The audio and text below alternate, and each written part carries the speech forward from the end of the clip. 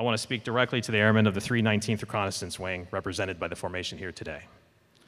We are in a decisive decade. This decade will set the course of our nation's security for the next century.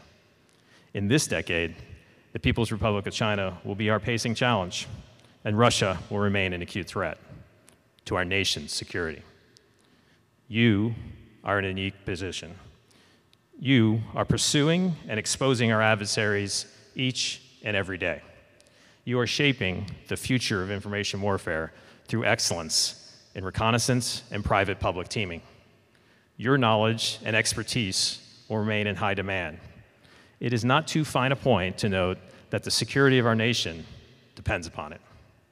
I'm incredibly proud of your accomplishments under Colonel Curry's leadership, and I'm looking forward to seeing what you will achieve with Colonel Monroe in the seat.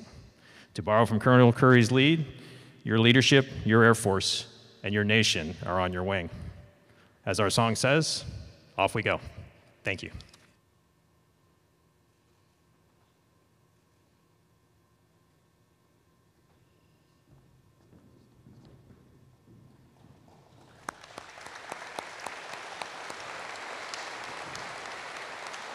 I am an outlier.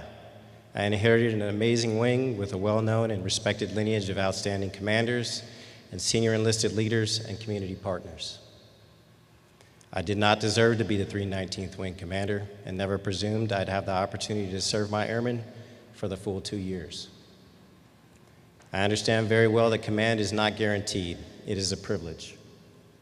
Like the freedom we experience daily in the United States of America because of men and women standing in that formation. To the Griffins who spanned the globe from North Dakota to California, Guam to Japan, Sicily to now Georgia, including my closest wingman, Chief Chris Ladarchek, and the commander of the formation standing right there, Del Rivera, and every Griffin in the hangar, to include my civilians. What you have invested in me, what you have taught me, what you have shared with me, and most importantly, what you have accomplished as a team will bring me peace and comfort for years to come.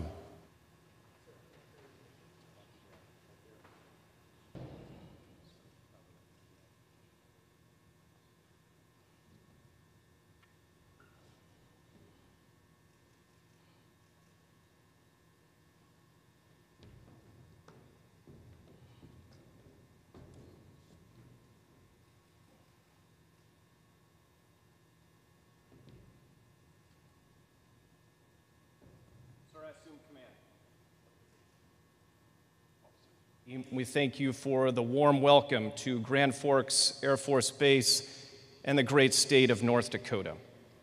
We look forward to continuing the long-standing traditions of partnership focused on strengthening our nation's defense and bettering the lives, community, and mission accomplishment of our airmen and their families. And we're grateful for your presence here today. We must be ready to manage change and meet difficult challenges with the poise, professionalism, and perseverance expected of the United States Air Force. Members of this wing are deployed around the globe as we speak. We're constantly engaged in competition for information dominance, and we have a solemn responsibility to perform those missions with the talent and tools represented in and outside of this hangar. To the Griffin family, our future is bright because you choose to defend our nation in its time of need. It is an honor to be a Grand Forks Air Force Base Griffin and a defender of liberty. Thank you very much.